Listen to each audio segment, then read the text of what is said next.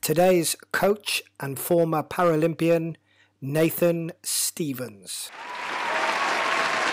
Today, um, Nathan, I'm not going to say too much yet, but um, this is a video. We're doing a video series called Coach on the Couch. Um, but you kind of fall into two categories of being a coach and an athlete, which is fantastic for me. Um, do you want to just tell everybody a bit, uh, just a little bit about yourself? Because I told you I've done my homework and you're in for it today. So can you just waiting for the grill? Yeah. Can, can you just See tell everybody? right first. Yeah, oh, yeah. Well, Wikipedia, it's an awesome place. Go ahead. Do, do you want to just introduce yourself? Yes. Um, yeah, obviously I'm Nathan Stephen, uh, Stephens, um, three-time Paralympian, um, winter and summer, and also Commonwealth Games athlete uh, from, as you can see behind me, 2018. Um, and now work for Disability Sport Wales as one of their senior performance pathway officers. Um, so, I, like I said, Dave, I've done my homework, and, I, and I'm fortunate to have you um, as a friend, and, and I've watched you coach, and I love your your coaching philosophy, the way that you come across to the athletes. Um, you began your journey um, around the age of nine, if I've got my, my bits and bobs right.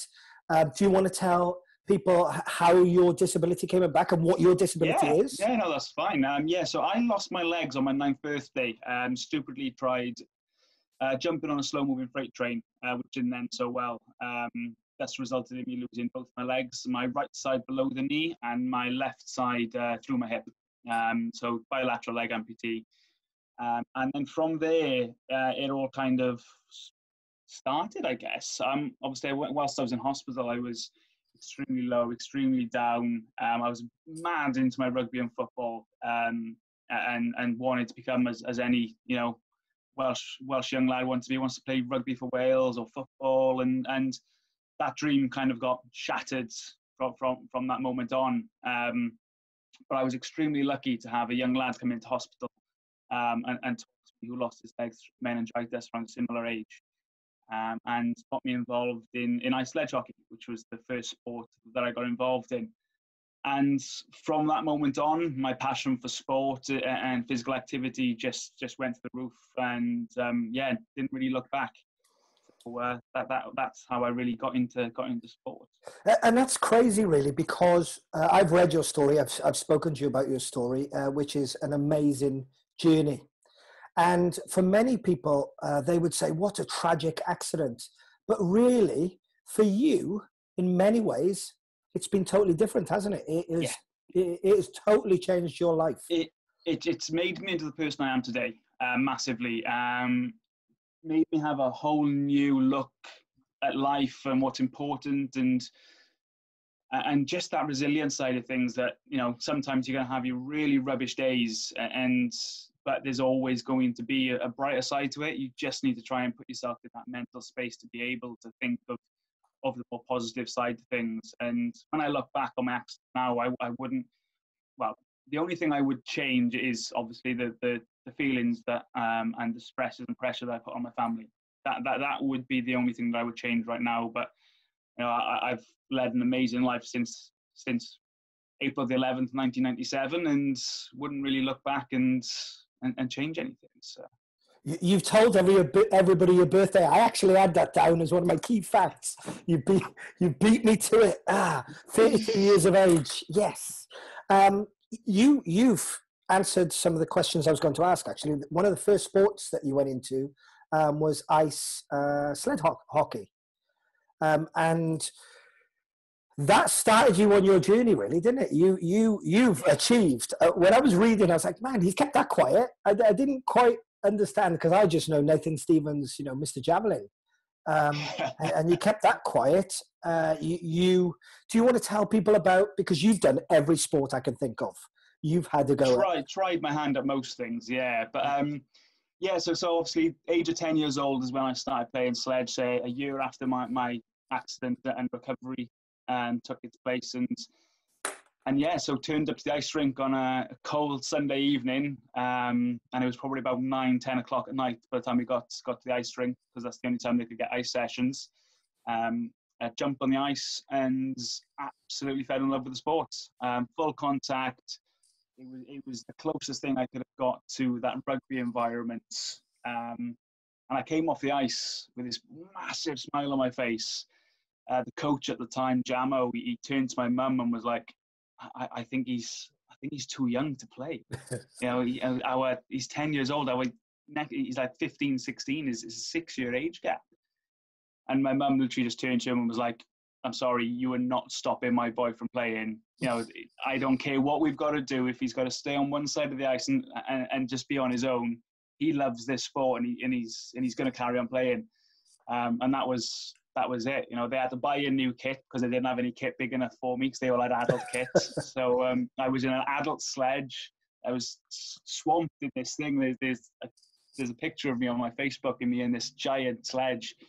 Um, but I loved it. I absolutely loved it. And not only was it was it the sport element, but it was that social interaction with individuals with other disabilities, other impairments, um, and days that I would struggle with with with my own uh, mental health around my impairment, just being around that environment really helped me and bring me through it. Because I, you know, I, was with other amputees, I was with individuals with spina bifida, um, individuals with spinal injuries, and, and just get their take on it. And for someone at such a young age to be in that environment, it allowed me to to build them coping mechanisms in, in, in, from a very very early age that, that really helped especially when i was in school and i was getting bullied and you know, i was able to, to, to, manage manage them emotions quite well.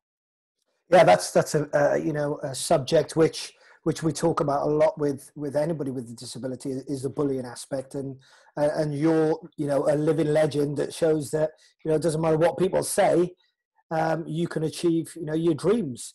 Now in 2003 at the age of 15 you managed to get three gold medals disc jav and shot that's right sledge hockey to getting three gold medals how did where, where did that come from um, so obviously, sledge hockey started that journey off for me, and it kind of, again, like I said, it ignited that passion for sport for me. And I was going to school when I went to comprehensive school. Uh, I, I, tried every sport that I possibly could that I was allowed to try, um, and swimming was one of them big factors for me in school to, to get my fitness up to to be integrated within the classroom environment as well because it was the only real sport that I could really excel at um, compared to my to my peers.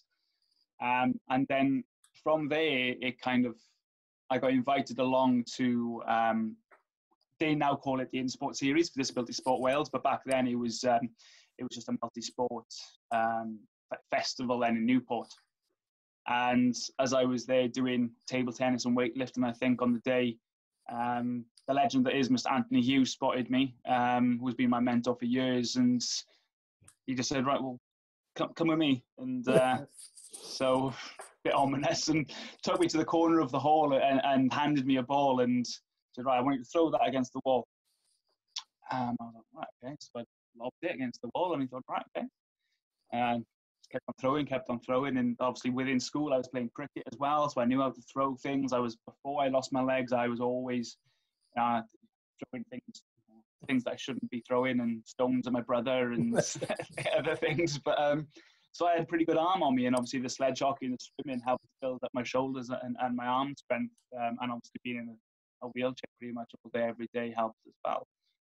Um, and then he invited me along to a to a session up in the national national indoor athletic centre, and yeah, spent 18 months throwing dog ties and didn't really have any chance of holding an implement until I got the technique right and um, a year after, well, 18 months later, so I got entered into my first junior championships and came home with three gold medals and three junior British records. Uh, I was just about to say, at the age of 16, you broke you broke the, the three records. Um, yeah, so that, that was the with the British senior records. Um, and that was at my first British senior event. Got two goals and missed out on silver in my discus due to, um, due to a very, very good um, Jamaican thrower. Um, so I came home from my first ever British senior champs um, with uh, with two goals and silver and yeah, that's amazing. Uh, absolutely. From where you came from sledge hockey, then through the throws, and then that was 2003, 2004. 2006, you were in your first um, winter Paralympics. That is. Yeah, so I, it, they, they, it kind of shows that you know if you're if you're passionate enough about sport, you, you are able to do multi sports. You know, you're, oh, you're yeah. able to excel in more than one. Um, it's just been able to have that time management and during during 2000 well during 2005 and 2006 was I had a choice to make. So there was obviously the Melbourne Commonwealth Games um, and Turin 2006. At the time, I qualified for both.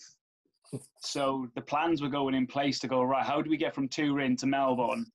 Uh, and my parents were like, well, what, what, what are you?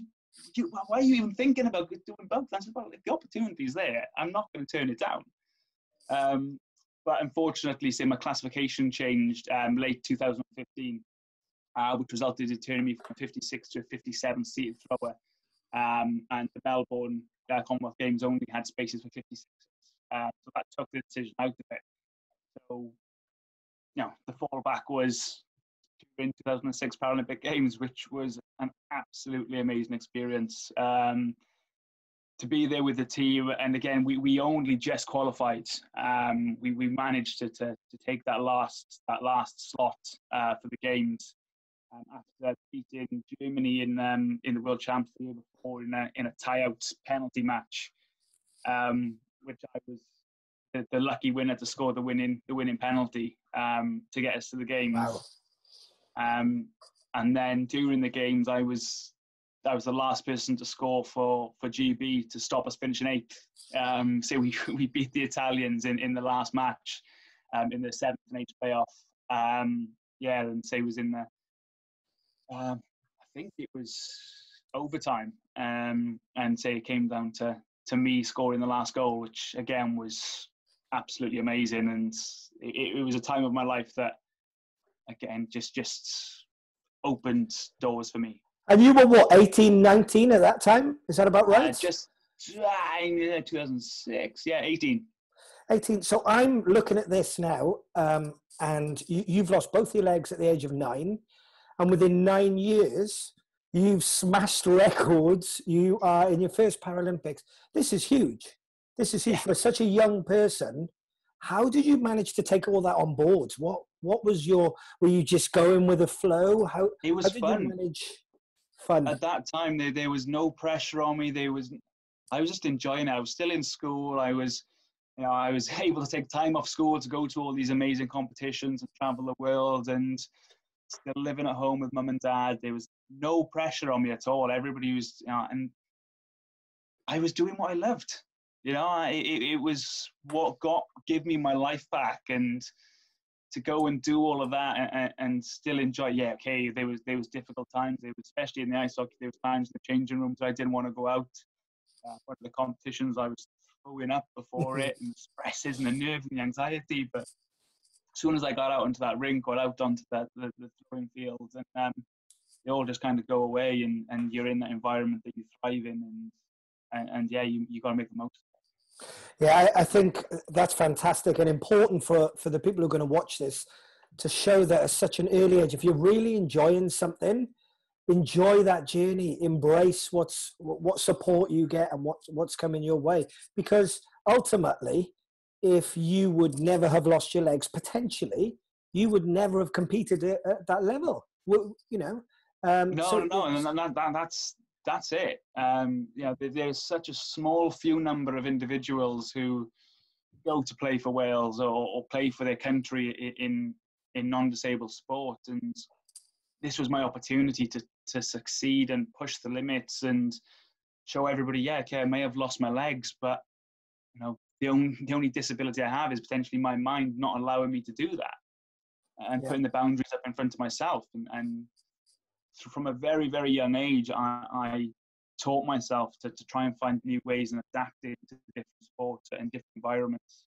Um, even down to playing rugby and football with my friends in school. You know, I, I still got out of my chair. I would sit in the middle of the rugby field. Um, you know, rolling around in the mud, waiting for them to get close enough to me to tackle them to the floor, or playing football, and I, I would be in goals.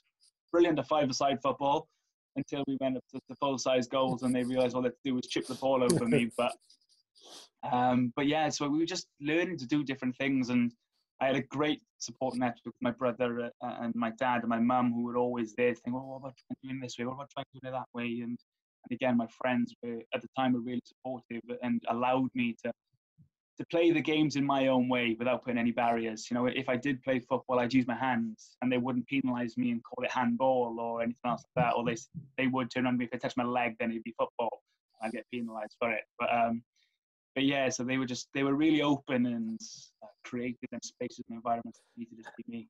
And I think that's important for coaches to take on board. That look, just because you have a disabled athlete that may walk through your doors, it doesn't mean that they can't take part. We should embrace that. Coaches should embrace that philosophy and and say, "Come on, come and have a go." Okay, if we can't do it this way, we can do it that way. And for you, that's huge yeah and, and that's it and that's i think obviously that's when we work together now that's what we try to do with the athletes that we work with it's it's allowing them to make the choices for them to go you know if we want to do an, a skill or, or a sport just ask the individual what can you do and what can't you do because they'll be open and honest and if you if they say well i haven't tried it before just give them the environment that they can and, and try it in as many different ways that, that they possibly can and for them to find their own way of doing it. Um, and that gives them, you know, that that that ownership of what they're doing and that pride and enjoyment will come from them experimenting in their own way because they may have not been allowed to do that in previous environments. Because I know it took me a while in school to to tell the teachers to go, look, if I'm going to do it, mm. let me do it. So many times the teachers go, you can't do that way, you can't do that, you're going to hurt yourself. I said, well, if I hurt myself, that's my fault. You know, then that, honestly, give me a wave, I, give me a waiver to sign, and I'll sign it for you. I'm chuckling because I can actually see you saying that to your teachers, uh, knowing you, you know, as a good friend. I can, I can see the way you would say it to, to yeah, to, to teachers. So they, they were always, you know, me and my, when I was a kid and in my wheelchair, I was going as quick as I can, getting told by my friends with skipping ropes, and they were going, Nate, you've got to put your seatbelt on in your chair. I said, no, because if I fall, then the chair's fallen on top of me. Seatbelts in wheelchairs are useless. And they were like, well, why did they put them on? I said, I don't know why they put them on, hmm. but I'm not wearing it. they were like, oh. they got fed up shouting at me again. And they're like, you know what? But, that that is who you are, Nate. That that is who you are, and you and you, you've you've achieved everything you've achieved through having that um, PMA, that positive mental attitude, and you know that can-do attitude. Um, 2008. What do you remember about that year? Um, that was my first ever Summer Paralympic Games. That was uh, Beijing 2008. Um, one of the youngest members of the well, no, I wasn't the youngest member of the team at that point, um, but I was one of the only seated throwers to qualify for all three events: uh, shot put, javelin, and discus. Um, and again, absolutely uh, amazing experience. One of my best performances um, to date in, in in my javelin event, uh, which was uh, the last on the last one of the competition for me. Um, and yeah, it, it, was it was character building. That one was. Um, obviously, I had my discus and my javelin, no, no discus and my shot put beforehand, and uh, shot put. We knew we weren't going to get massively far. I, I, was small compared to, to the other ones. The discus was always just a fun event. Um, the way I threw didn't really allow me to get the most out of, out of discus at that time I think I finished 11th in my discus. Um, 11th disc, eighth shot. Uh, eighth shot. And, and my jav. Fourth in the jav. Yeah, so the, the night before my jav, um, I was literally on the phone to my coach, just going, I'm not good enough to be here. I'm stressing out. I'm freaking out.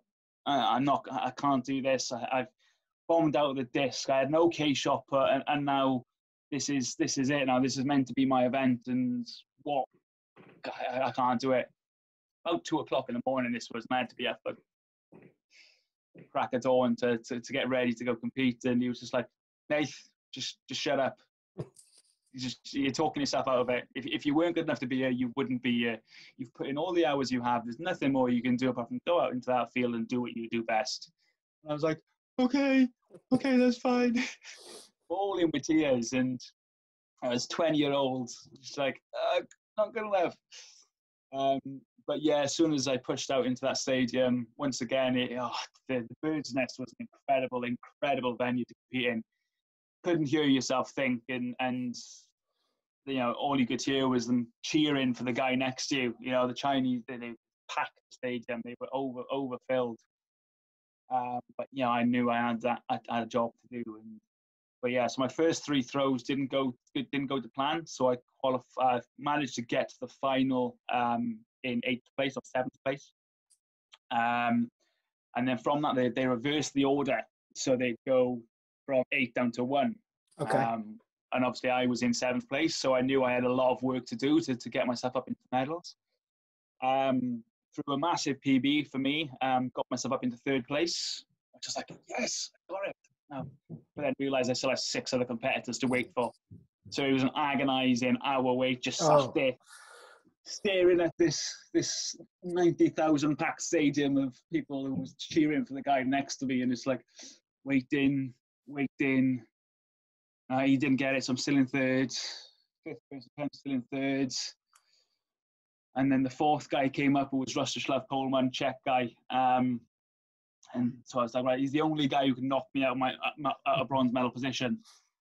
First throw went, foul throw. Second throw went, throw. I was like, oh, one more throw, one more throw, and I, I couldn't look until the very last. Well, he threw, and I seen the javelin go in the air, and I was like, oh, that's that's that's a good one.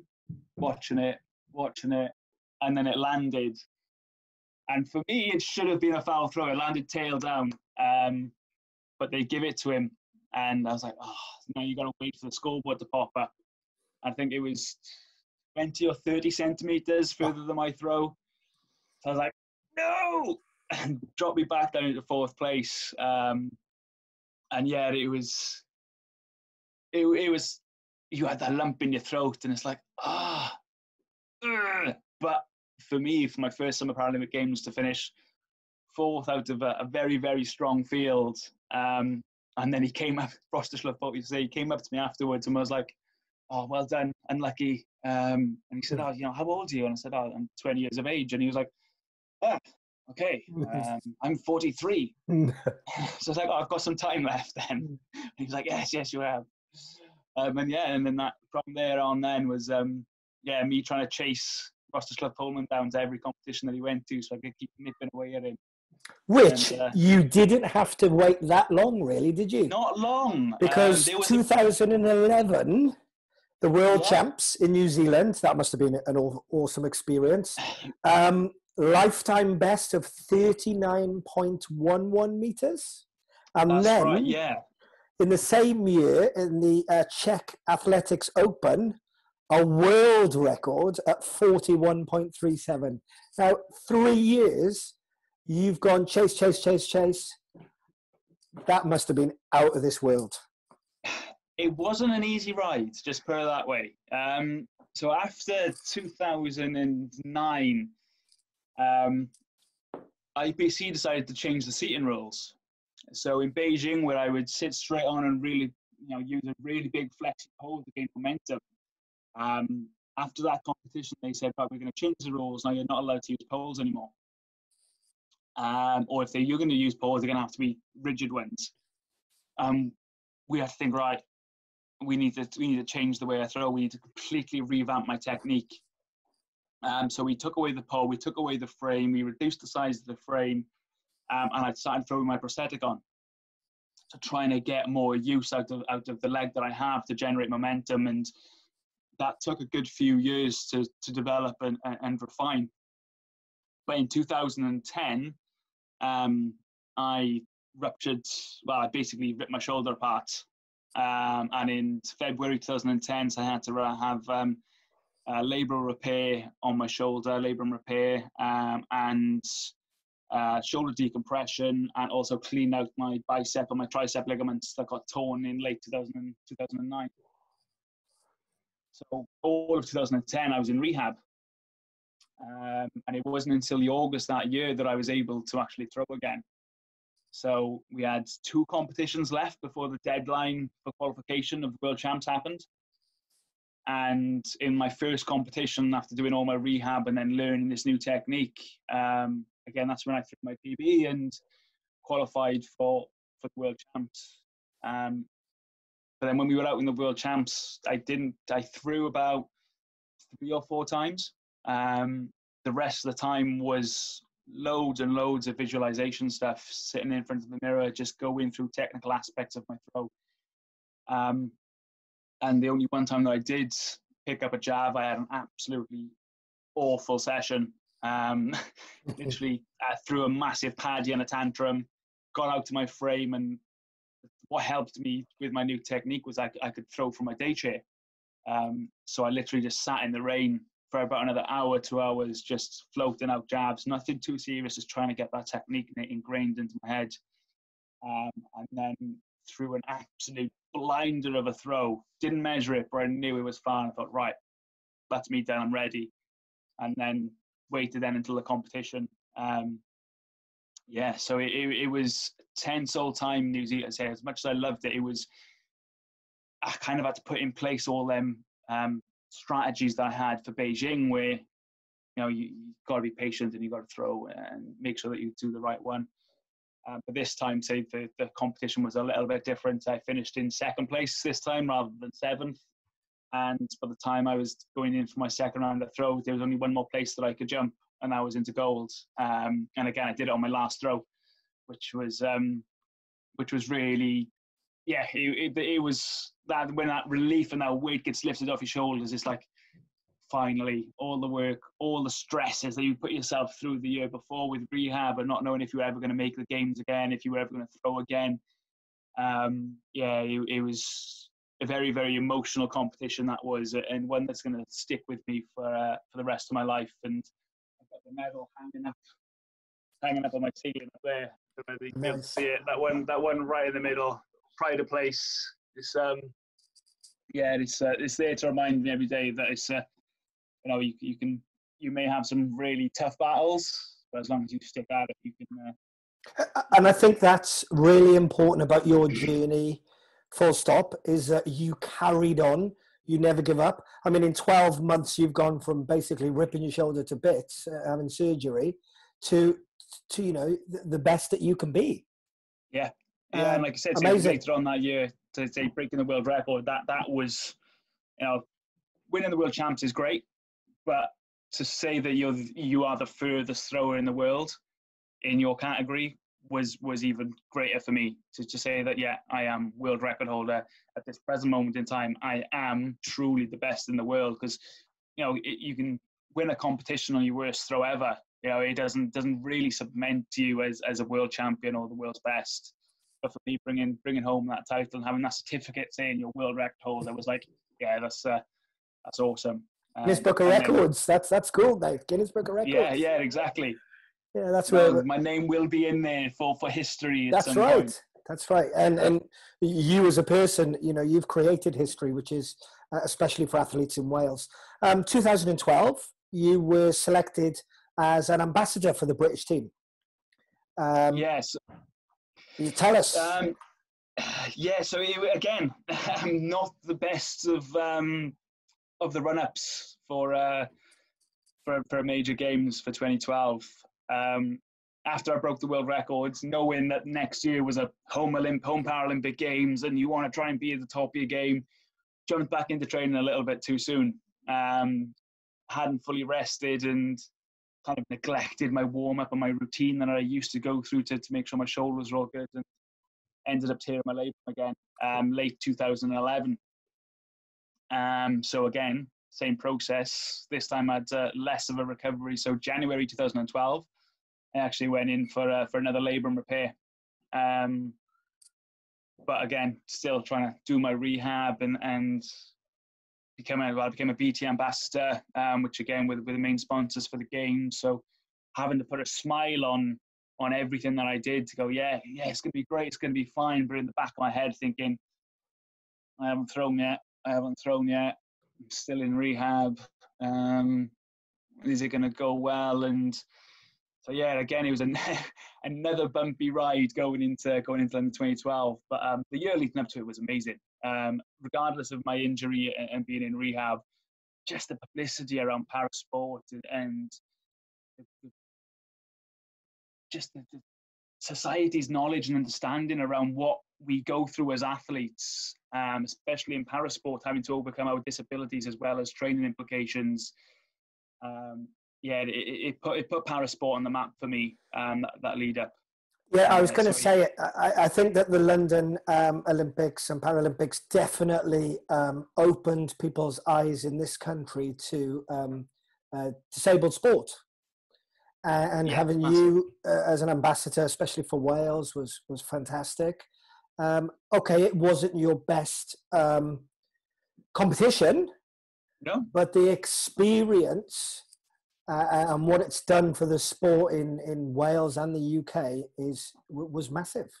Yeah, in the end of the day, sport is sport. You're going to have some competitions that go well, and others that go absolutely out the window. Uh, and unfortunately, London 2012 was was one of them for me.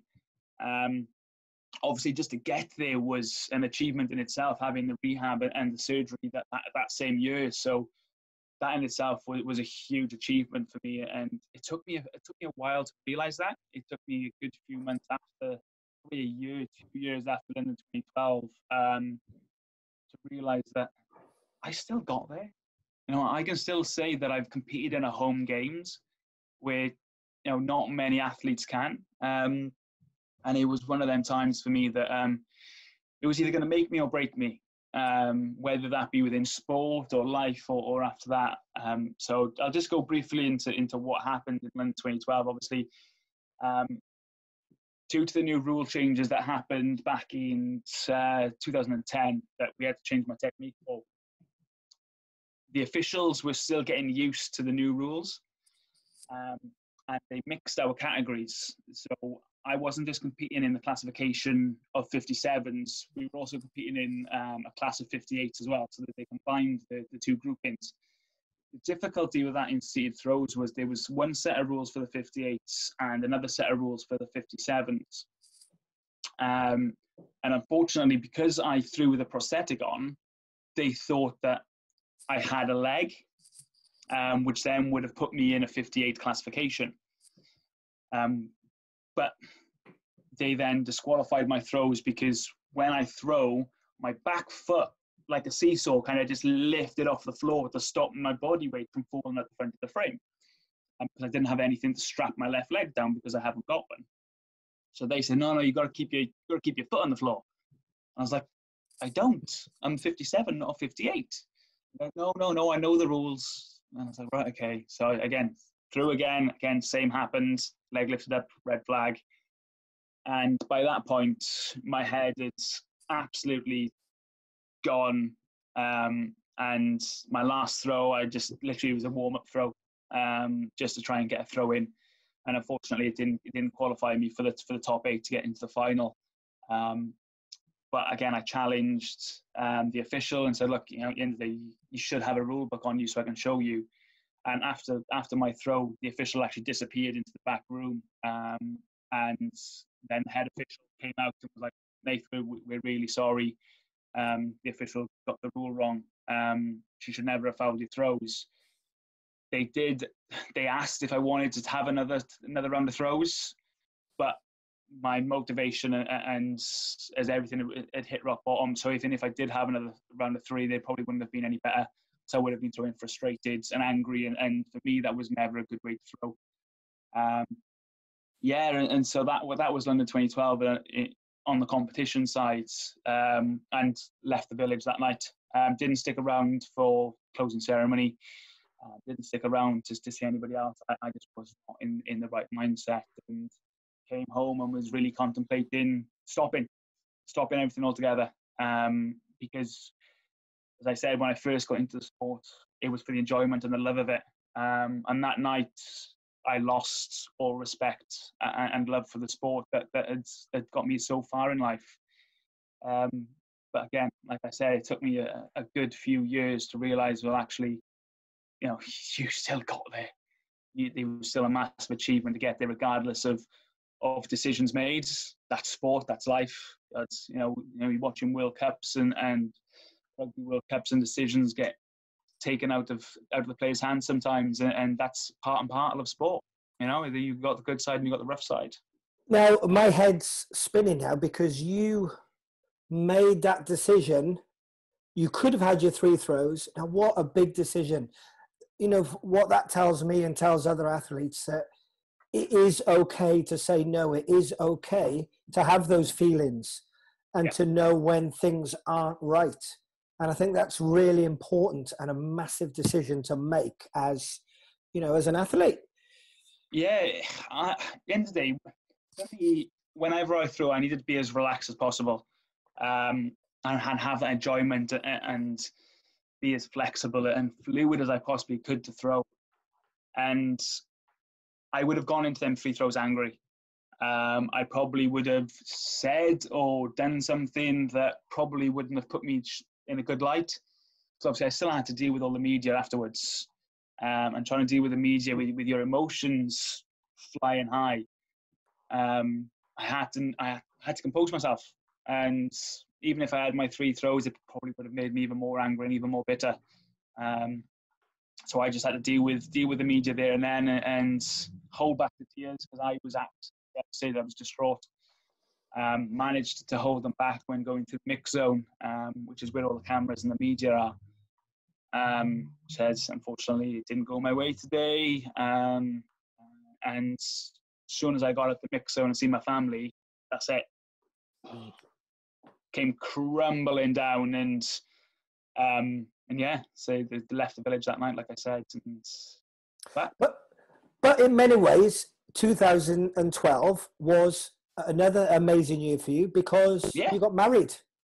Um, well, I was with my so I got married in 2013. Um, 2013. So yeah, so the year after, so it was it was that time of of uncertainty for me in 2013, uh, 2013 whether or not I was going to continue with sport uh, or whether or not um, I, I, would stop. And I, I'd been with with with my wife um, for two two years at that point, and she'd gone gone through every emotion with me. was there when I was world champion, and she was there when I was at my rock bottom after London 2012, um, and she was my rock. She was she was beside me all the way, and that's when I realised this is this is the girl I need to marry. Um, so proposed in May. Uh, Sorry, I've not proposed in, in get, 20... get, it right now, Nate. You'll be in trouble. God, now, you, now you're putting me on the spot. when did I propose? no, proposed in... No, sorry, proposed in 2012. Uh, proposed in May 2012. Um, um, again, because, yeah, she, she'd been there. But, um, yeah, managed to set a date and it, it, it, was the highlight for my year for 2013 then was, was marrying my wife. Um, yeah, and even even though we we'd been through uh, an extremely difficult time, the end of 2012, um, at least we had something to look forward to. Um, and I was still still training, still doing bits and bobs, um, but uh, it wasn't a massive priority for me at that at that stage. I had to kind of get my, my life in order rather than, than sport. And yeah, had a had a magical wedding in, in the Celtic Manor in in, um, in August 2013. And um, yeah, it was was an amazing day, and and again that was a challenge in itself because the one thing that um, I guess I could give my wife that no one else could was our first dance. Um, and so yeah, I, I put on well for, for months leading up to the wedding. Um, my I was practicing our, our dance in our living room with my prosthetic leg on, and um, yeah, just walked walked out. So didn't have my both legs prosthetics on for, for all of the day. So I was on my one prosthetic like I usually am. And uh, for our for our first wedding dance, I snuck off into a back room to, to put my leg on, um, and then walked out for the first time ever. Walked out hand in hand with, with no crutches, uh, with my wife on the dance floor, and we did our first dance. And yeah, everybody was in floods of tears, myself included, and. I was dancing for the first time with my wife on our wedding day. So Amazing, yeah. amazing. What, um, Nathan Stephens, uh, you now have a full time job with Disability Sport Wales. I have to ask the question which I haven't asked you. Have you got your eyes set on something else in the future? Um, I am happy to say no. you, you you haven't still got that urge to compete in something no, I think after London 2012, um, and after I retired from athletics in 2014, I kind of got not pushed out of the sport, but things got made extremely difficult for me to compete at the best of my ability. Um, with new rule changes, new seating positions to try and level up the playing field. Um, 2014, I, I, chose to step away from competing, um, but it wasn't how I would have liked to have, to have stopped. I would have liked to finish on a high and win more medals and get my world record back. But unfortunately, with, with the new way that the rules panned out, it was really extremely difficult for me to do that. So when I started work in 2015 uh, with Disability Sport Wales, there was still that that urge to um, still still haven't got that fulfillment of, of sport that I wanted to get from it. Um, and I watched 2016 um, Paralympic Games in in Gold Coast, uh, sorry, in Rio. Was glad that I wasn't doing athletics, uh, but still had that urge to. I'm not ready to retire yet. Yeah, I'm not ready to to give up on my sporting dreams. And there was one competition that I hadn't done yet, um, and that was Commonwealth Games. Uh, so we narrowly, narrowly missed out on on Melbourne due to classification changes and luckily fell upon uh, I was doing some work with uh, Welsh weightlifting at the time to, to make them more inclusive and, and doing some work on the on the para pathway program. And I was going through some of the, some of the courses with them, and they turned around to me and was like, uh, "So Nath, you uh, you doing any sports at the minute?" And I'm like, "No, not at the minute." And they're like, "Want to give powerlifting a go?" I was like, "Well, I've done bench press before. It was a staple part of my of my gym routine." So um, started to, to, to dabble in that. Didn't think anything was going to come from it. Because obviously I was working full time and knew that the commitment needed to, to be successful at a sport was, you know, you had to put your heart and soul into it. And I was loving what I was doing with the pathway stuff with Disability Sport Wales and trying to fit it in between uh, traveling and work was, was tough.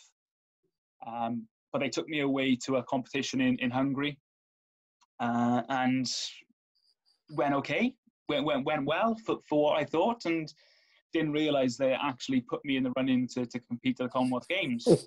I think they had that plan in their head that they knew what I was lifting.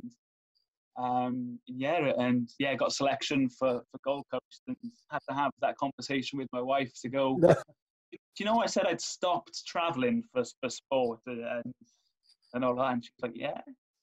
Um, do you mind if I go away for a month to, to Australia? And she was like, no, go for it. End of the day, so you need it. You need closure. Um, you need sport in your life to keep you happy. Um, and she was fully supportive of me going out um, and going to Gold Coast. Okay, I was out there for my 30th birthday as well, which was a fantastic trip. But that was probably the, the, most annoyed my wife had been not spending one of my birthdays was because it was one of my big wins. Um, but yeah, uh, and again, it, it, was a tremendous experience. First time I'd ever actually competed in a true Welsh vest, um, but for any of my sports. So that was a major major achievement in itself. And I went out there and I pushed personal best lift, and that's all I could have asked for. Um, you know, the guys I beat was competing against, they'd been, this was their chosen sport, and they'd been competing at it for years and years and years. And then this this wannabe powerlifter come in from only doing 18 months of training um, to, to, compete on their stage. Um, I didn't want to do them any disrespect. Um, I know what it's like to, to be a sportsman and, and, have someone who rocks up to your sport thinking that they can do it. Um, and I just went out there knowing I just wanted to, to do myself just to do myself proud and push a personal best lift, came home happy and finished dead last. no, I didn't finish dead last because someone um, fouled out on all their throws, uh, all their all their lifts. So I didn't finish last, which was amazing. Um, but yeah, and the experience, the experience, Nathan, you, that Welsh Fest, it, it's incredible. It was yeah. Yeah. one of them proud, the proud, proudest moments of my life. That was competing for Wales, um, and something I never, uh, something I'd never thought I'd be able to do because um, again, athletics didn't give me the opportunity to do it. Um, but I, I, found a sport that did, and uh, I wanted to, to continue with it. I really did. I didn't want to just be a one-trick pony in one competition. Um, but when I came home for, from Gold Coast. Um, work got really busy, and I wanted to put everything I had in, in, into work and and develop the environments that can allow individuals like myself who have, you know, with disabilities and impairments to thrive. Um, and, and that's obviously the work that I'm doing with yourself now to try and make sure that everybody can have access to the, the same environments and, and same opportunities that I had growing up. Definitely. Um, I hope that most of the athletes that we work with will watch this video. Your journey is is one of a roller coaster, which which a lot of journeys of, of elite athletes are. What advice would you give to any of those athletes that are beginning on their journey and there are going to be tough times ahead? What is that one piece of advice you would give to them um, for their journey? Um, it's probably just be patient. Um, understand that it, it isn't a straight road. You know, there's going to be curves, there's going to be dips, there's going to be peaks, there's going to be troughs, and you've got to take the good with the bads. Um, and I'm telling you now, there, there's going to be a lot more bad than there is goods. But the one good opportunity that comes your way will severely out and surpass the negatives um, and continue to enjoy it no matter what.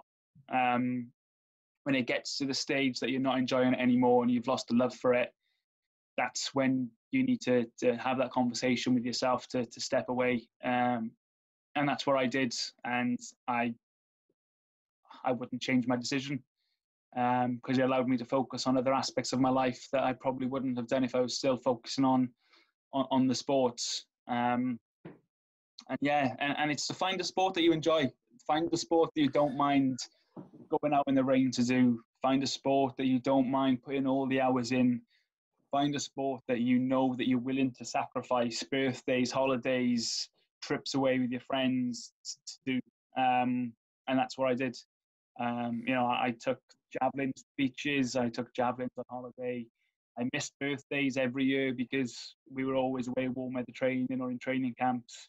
Um, but I didn't mind because I was ultimately doing something that I loved and enjoyed. That's an amazing piece of advice because one of the things that I've learned from yourself and and the rest of the guys at Disability Sport mm. Wales is I'm a basketball coach. You know, I love and, and, and have lived basketball. But the advice I give to, to young people now is look, I'm not here to teach you basketball. You find what you enjoy. Keep trying until you can find that sport that's right for you. And, and I, with Disability Sport Wales, we've got an amazing platform in place and people that you can talk to. You know, you have to have that that network in place that you can talk to somebody if you don't think something is right or if you want to make that change. And Disability, Disability Sport Wales provides that. Yeah, and it's something that we're, we're putting a lot of effort into now is to is to try and find youngsters at that very early age to give them the skills and confidence and ability to do that.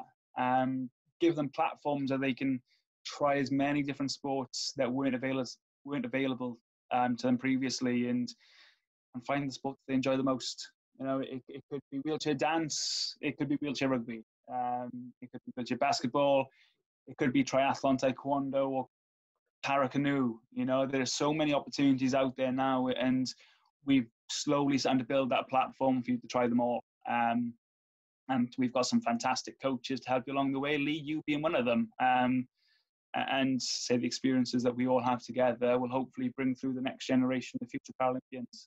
And and not only that, just good human beings and individuals. Because um, not everybody will make it to the Paralympics, but as long as we can help the individuals to succeed in one aspect of their life, for me, that's a success.